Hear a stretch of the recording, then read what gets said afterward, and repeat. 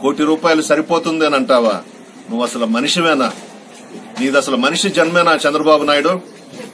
క్రూర మృగాలు ఏ విధంగా అయితే ఉంటాయో రాక్షసులు ఏ విధంగా అయితే ఉంటారో అఘోరాలు ఏ విధంగా అయితే ఉంటారో ఆ మనస్తత్వం నీది.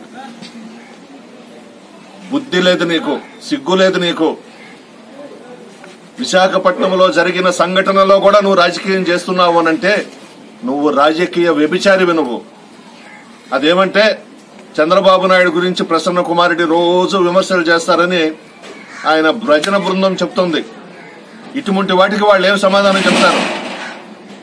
జగన్మోహన్ రెడ్డి గారు చనిపోయిన కుటుంబానికి కోటి రూపాయలు ఇవ్వడం తప్ప చెప్పమనండి. ఆయన భజన పరులను చెప్పమనండి.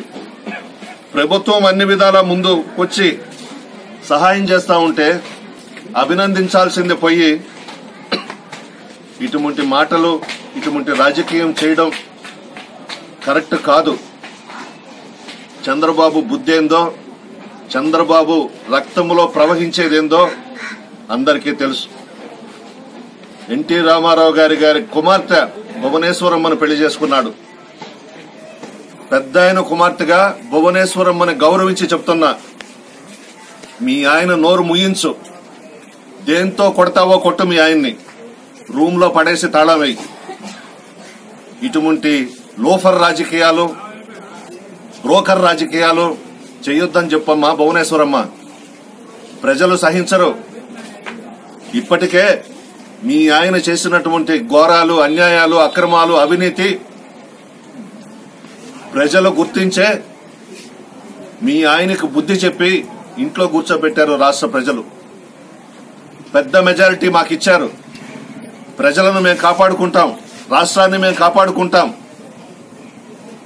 ఇటువంటి సమయంలో ఇటువంటి రాజకీయాలు చేయడం అనేది కరెక్టా అని అడుగుతా ఉన్నా. అతను నోరు ముయించాలంటే భువనేశ్వరమ్మ గారే ముయించాలి. వెధవ రాజకీయాలు పనికిమాలిన రాజకీయాలు. చంద్రబాబు నాయుడు అంత పనికిమాలినోడు చంద్రబాబు నాయుడు అంత దట్టియెస్ట్ పాలిటీషియన్. ఈ దేశంలోనే ఎవరు ఉండరు అనుకుంటాను సిగ్గు లేదు శరము లేదు. అతను ఒంట్లో రక్తం ప్రవహించడంలే. ఆ ఉన్న రక్తంలో విషం ఉంది. మనిషి జన్మ ఎత్తినోడు ఎవడైనా? విశాఖపట్నంలో జరిగిన సంఘటనకి స్పందించి ముందుకు రావాలే గాని ఇటువంటి విష ప్రచారం చేయడం అనేది కరెక్ట్ కాదు. ముఖ్యమంత్రి గారిని అభినందించారు. బ్రహ్మాండంగా అభినందించారు. ఏ రాష్ట్రంలో చేయలేదు ఈ రాష్ట్రంలో విశాఖపట్నంలో జరిగిన సంఘటన మీద ముఖ్యమంత్రి గారు స్పందించి కోటి రూపాయలు ఇచ్చారయ్యా. ఏ ముఖ్యమంత్రి అయినా గతంలో ఇచ్చుండారా? చెప్పమనండి చంద్రబాబు నాయుడిని. నువ్వెంత నీ బ్రతుకెంత? నువ్వెంత ఇచ్చావు ముఖ్యమంత్రిగా ఐదు సంవత్సరాలు పరిపాలిస్తే ఈ రాష్ట్రంలో?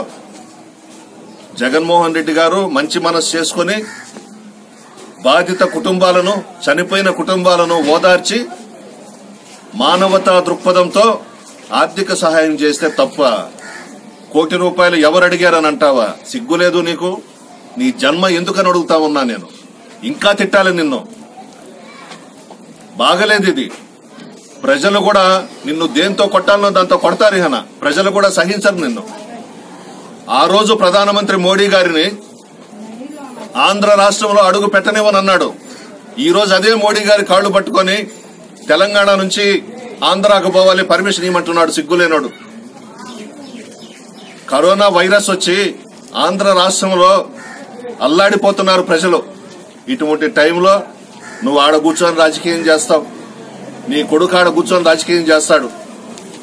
మీ చెంచాలు మీ పార్టీలో ఉన్నటువంటి ఎవ్వరూ బయటకు రారు. ప్రజలను పలకరించరు. మేము చేస్తున్నామయ్యా. మా వైఎస్ఆర్ కాంగ్రెస్ పార్టీ నాయకులు చేస్తున్నారు కార్యకర్తలు చేస్తున్నారు అధికారులు చేస్తున్నారు మీడియా చేస్తా ఉందయ్యా. నువ్వు ఏడకు పోయినావు? ఏడ కూర్చొని ఉండవు మరలా నువ్వు విశాఖపట్నంలో జరిగిన సంఘటన మీద మాట్లాడతావా వ్యంగ్యంగా? బుద్ధి లేదు నీకు. ఏం పుట్టుకనిది మా కర్మ కొద్దీ ఆ ఖర్జూరపు నాయుడికి నారావారిపల్లిలో పుట్టావు. మా పెద్ద ఆయన్ని వెన్నుపోటు పొడిచి చంపేశావు ఎన్టీ రామారావు గారిని. సిగ్గులేదు నీకు? నీ రాజకీయ జీవితమే అంతే. పతనం అయిపోయినావు నువ్వు. ఇంకా రాజకీయంగా నువ్వు ఎదిగే సమస్య లేదు. బుద్ధుండాలి కదా? ఎంత పెద్ద సంఘటన?